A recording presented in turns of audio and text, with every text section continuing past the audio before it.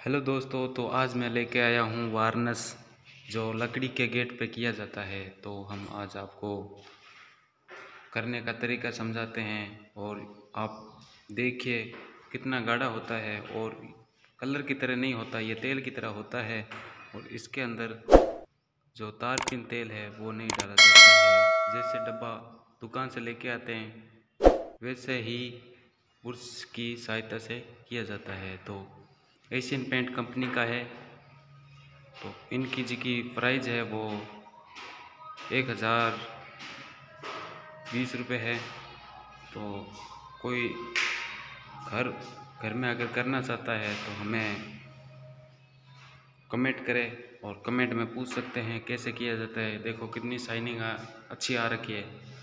तो किसी भाई को अगर करनी है तो हमें कॉल करें और ऐसी वीडियो हम आपके लिए ज़रूर लेके आएँगे। तो हम करके दिखाते हैं, देखो, बुर्स को कैसे चलाना चाहिए।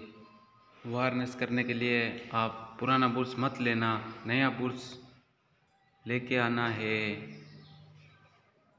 बुर्स लेके आना दुकान से और जो आप यूज़ ले रहे हो, उस बुर्स को मत लेना।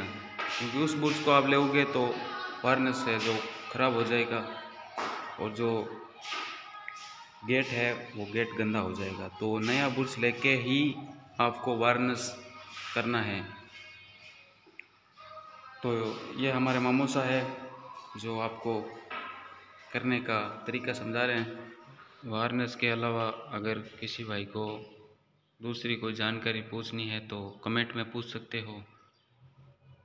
तो आज हम वारनेस का पूरा डिटेल हम, हमने दे दिया तो हमारा चैनल लाइक और सब्सक्राइब ज़रूर करना भाई।